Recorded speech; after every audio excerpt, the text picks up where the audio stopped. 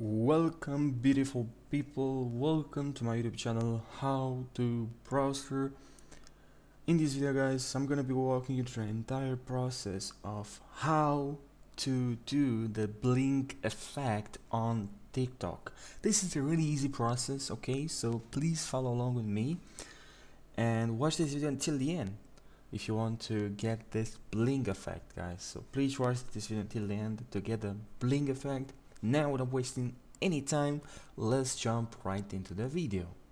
Now please guys, what you need to do for the first step is to open TikTok and you need to tab on you need to tab on discover button right here discover discover and now please go to the search tab and please tab or please write bling effect tap on bling effect bling effect.